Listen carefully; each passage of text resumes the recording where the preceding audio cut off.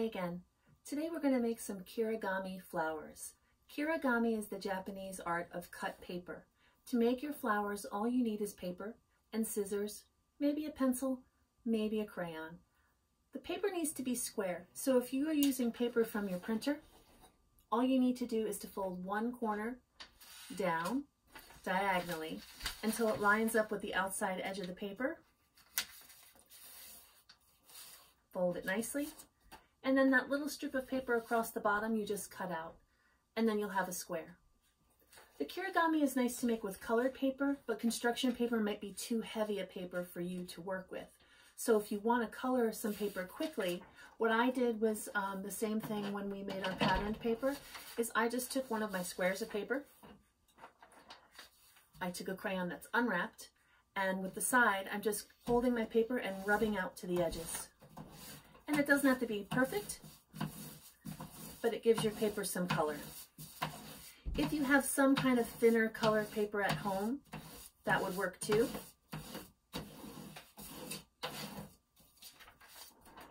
Or you could even find pages from magazines that are colorful or have patterns on them.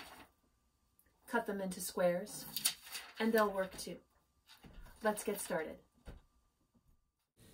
Remember we're starting with a square piece of paper, so if you have a rectangle, you need to fold down diagonally, line up the side, and then cut off the strip to make that square. So my square is folded in half diagonally. I'm putting the longest side on the bottom, and now I'm folding in half like a book. Putting the longest side of the triangle on the bottom. Now I need to fold it in thirds, so I have to take each side and overlap them and try to make sure they're even. So don't fold right away. You might have to play with it a little bit to get those thirds folded just right. And then when you're ready, you can press down your seams. The kirigami paper will look like an arrowhead. Now flip it over and you'll see an edge. Everything past that edge you just snip right off. Now this is a kirigami base that you could make snowflakes with, but we're going to make sure that they look more like flowers.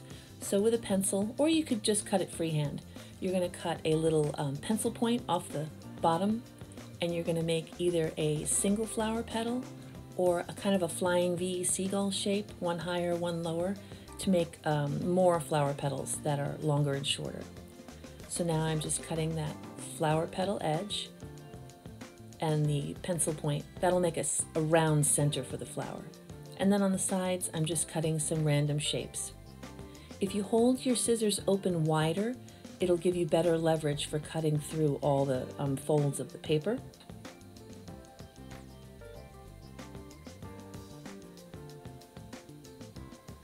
And then open it up and see your flower. So this was when we drew a single flower petal at the top of the um, triangle. Here's the little double flower petals. One a little taller and one a little shorter. Cutting the center so you get that round um, hole in the middle of the flower. And then any kind of shapes on the sides. They don't have to be too big. And you could experiment with maybe just a few shapes or more shapes. One larger shape or a lot of smaller shapes to get different designs.